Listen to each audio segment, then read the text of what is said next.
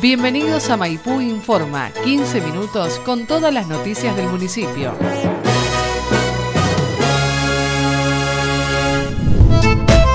El jefe de la Policía Comunal, comisario Ariel Álvarez, se refiere en la siguiente nota a los operativos de tránsito y control vehicular realizados durante el fin de semana largo.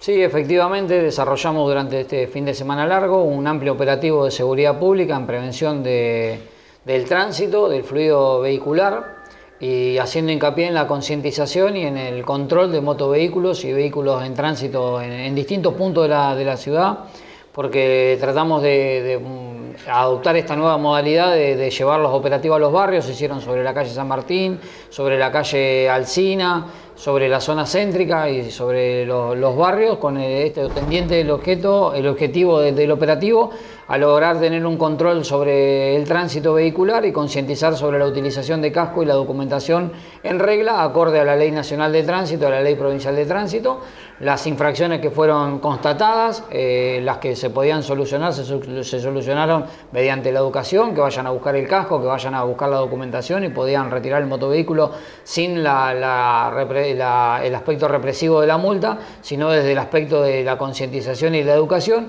Y bueno, las cuestiones que eran no subsanables desde este punto de vista fueron eh, labradas actuaciones contravencionales y se dio intervención, obviamente con la incautación de motos y de los vehículos correspondientes, dándole intervención al juez de faltas municipal que toma intervención en lo que, toda la modalidad que tiene que ver con el tránsito, con la Ley Nacional de Tránsito. Son operativos dinámicos, semidinámicos y fijos, en distintos puntos, en distintos horarios, son, son sorpresivos y lo que tiende es a marcar una mayor presencia policial en los barrios, en la vía pública, volcando y optimizando la mayor cantidad de recursos que tenemos, siempre en beneficio de la, de la tranquilidad de la localidad.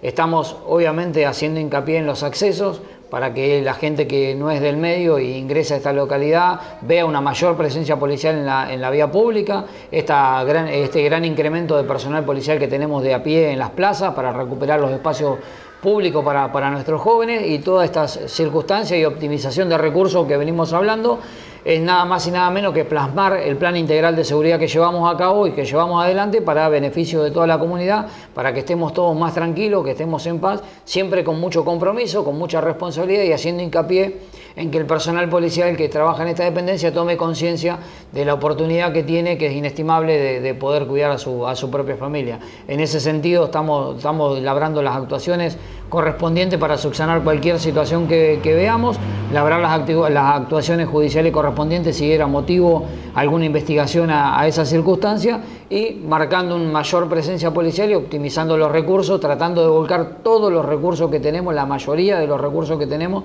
a la vía pública y a la prevención de, los delitos y, las faltas en todas sus modalidades. Se labraron infracciones de motovehículos y de vehículos que quedaron a disposición del juez de, eh, faltas municipal a los fines de subsanar las irregularidades que fueron constatadas pero por ahí lo, más eh, puntual de este operativo que efectivamente eh, lo empezamos el viernes, el día viernes y lo culminamos en el día de la fecha a las 6 de la mañana, es que el resultado desalentó cualquier eh, presencia no grata en el pueblo porque en los accesos esto desestimó que, cualquier situación que se pudiera volcar con personas que sean ajenas al medio y venían con algún tipo de actitud delictiva se vea desalentada y se logró además poner a disposición de la justicia una persona el día viernes que te presentaba un pedido de captura activo ¿sí? por, comercialización de estupefacientes, el cual fue puesto a disposición de la justicia y regularizada su situación procesal, por lo cual el resultado a criterio y operativamente evaluado ha sido muy, muy positivo.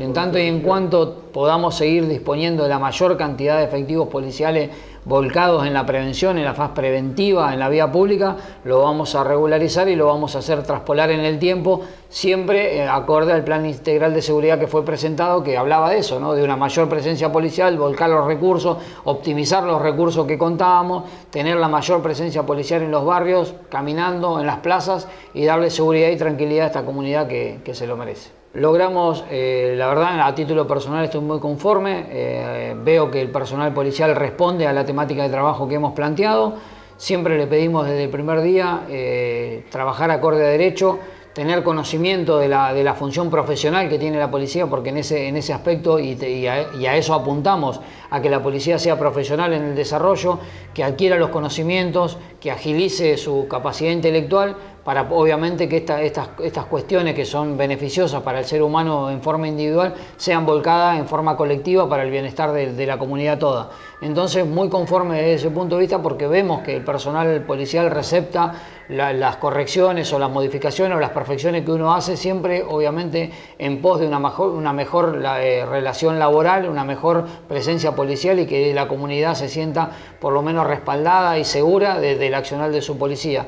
En ese sentido estoy muy, muy conforme porque veo la respuesta del personal policial y creo que, eso también repercute en ellos mismos, que, trabajan de otra forma, predispuestos, con mayor presencia policial. Obviamente siempre sabemos que somos seres perfectibles de modificar cuestiones que haya que modificar y en ese camino vamos a estar tratando de modificar siempre buscando rozar la perfección. ¿no? Lo, hemos ido acotando a que todos tomen conciencia de que, esto no es solo un aspecto netamente policial, en, lo que es la nocturnidad, el desarrollo social, el desarrollo del ámbito de cada uno, donde, donde tiene injerencia cada uno como integrante de la sociedad, tienen que tener cada uno la responsabilidad que, le, que le compete y en ese sentido cada uno tiene que tratar de hacer bien las cosas para que repercutan el bienestar de la comunidad. Entonces, eh, tratamos de marcarle la pauta a todos los actores que tienen que ver con la nocturnidad para, eh, para decirle que nos manejamos dentro de este aspecto, dentro de lo que es la, ley de nocturnidad de la provincia de Buenos Aires, con el tema de, ser responsable y tomar conciencia del consumo de alcohol, si el que maneja, el que es conductor, eh, que, tenga bien entendido que está llevando a sus amigos, a, sus personas de, sus afectos, para que evitar cualquier tipo de accidente que podamos por lo menos desde este punto, con la concientización y la educación, tratar de prevenirlo. Así que en la noche está bastante, bastante controlada, lo que no quita de que en algún, siempre, en algún aspecto siempre se, pueda hacer hincapié o mejorar o profundizar las acciones. Pero nosotros desplegamos cada fin de semana estas acciones preventivas de control de, tránsito, de alcoholemia y demás, para que obviamente eh, toda la comunidad esté más, más tranquila. No, llamar a la, a, la población, a lo que, agradecerle eh, lo que venimos hablando y pregonando desde hace casi seis meses, que, llamen a la policía, que confíen en su policía, que la calidad de respuesta que se va a dar es la que nosotros eh, estamos, por lo menos sabemos que estamos consustanciados en dar y si hay alguna cuestión perfectible la vamos a solucionar. Eh, estas gestiones de puertas abiertas, estamos abiertos a, a los requerimientos de la, de la comunidad y hacerle hincapié en que llamen ante cualquier eventualidad a los teléfonos al 421-013 y el 421-115, cualquier anomalía, situación que ellos vean que, no, tiene, no es acorde al, bienestar normal de la comunidad, que llamen, que vamos a tratar de darle la calidad de respuesta inmediata que, que la situación lo amerite.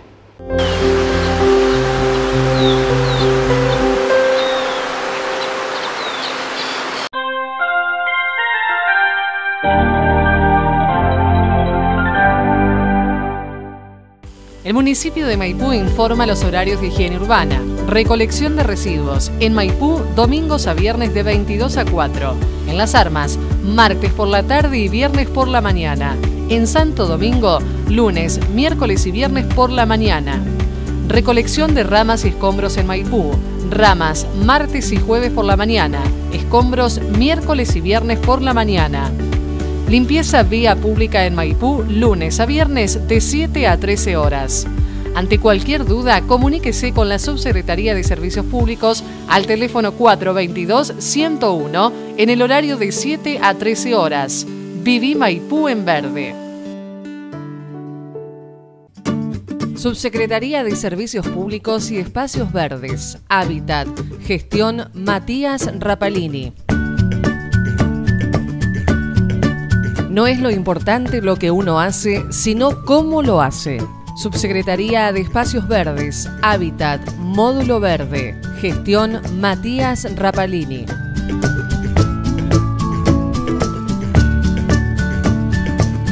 A veces sentimos que lo que hacemos es solo una gota más en el mar.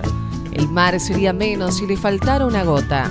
Cuidar y proteger el medio ambiente está en tus manos.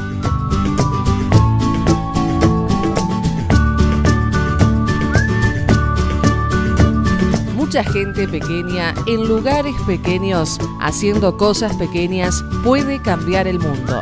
Reciclar está en tus manos.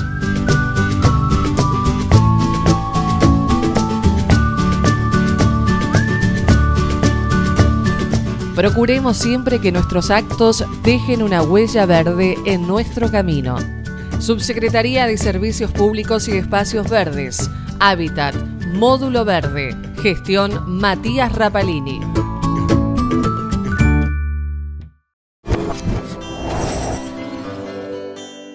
Circular responsablemente en la vía pública, respeta las señales de tránsito y cede el paso al peatón. Si tomas alcohol, no conduzcas, no uses celular, no circules a contramano y circula con los papeles al día. Respeta los límites de velocidad. Si vas en moto, usa siempre casco vos y tu acompañante. Solo dos personas por moto. Si vas en auto, los niños siempre en el asiento trasero y con cinturón. Si vas en bicicleta, usa siempre casco vos y tu acompañante. Usa las balizas intermitentes. Usa ropa refractaria. Si sos peatón, circula siempre por la vereda, no por las bocas calles. Cruza por las esquinas y sendas peatonales. Respetando las normas de tránsito, nos cuidamos entre todos.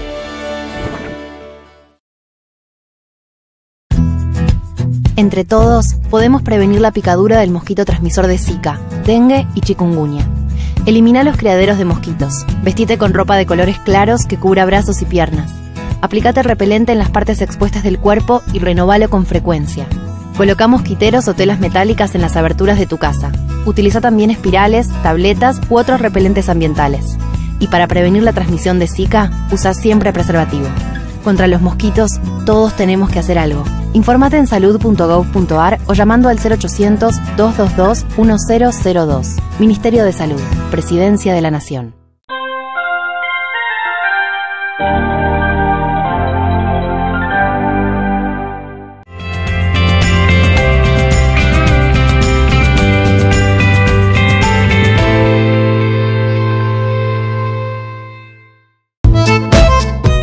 25 se llevó a cabo en el Centro Cultural Leopoldo Marechal una jornada de talleres destinada a los niños que concurren al Centro de Actividades Infantiles, patios abiertos y Centro de Actividades Juveniles.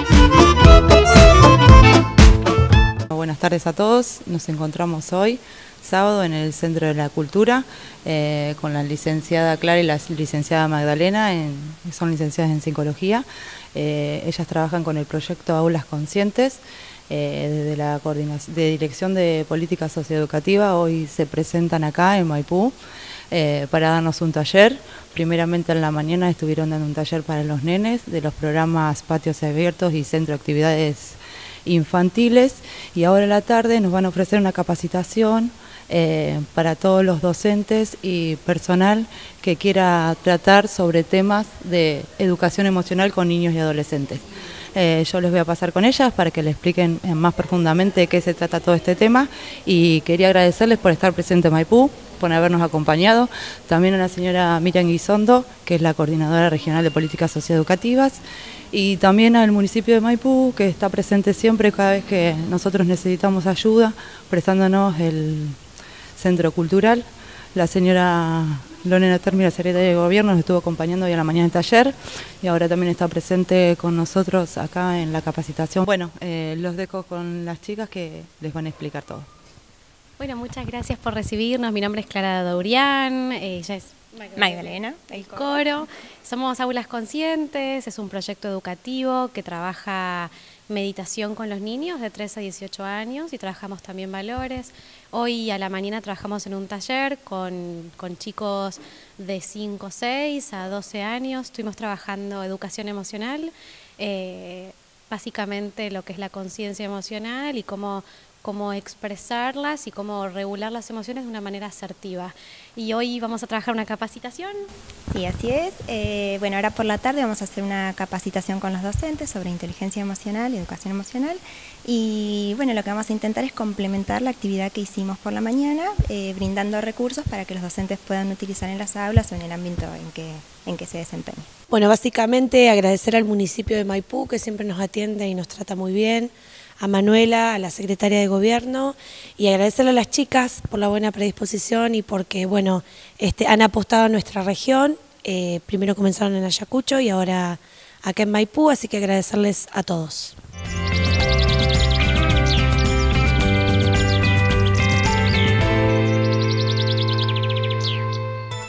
Hasta aquí compartimos Maipú Informa TV, el encuentro diario con más noticias del partido de Maipú. Muchas gracias por acompañarnos y hasta el próximo encuentro.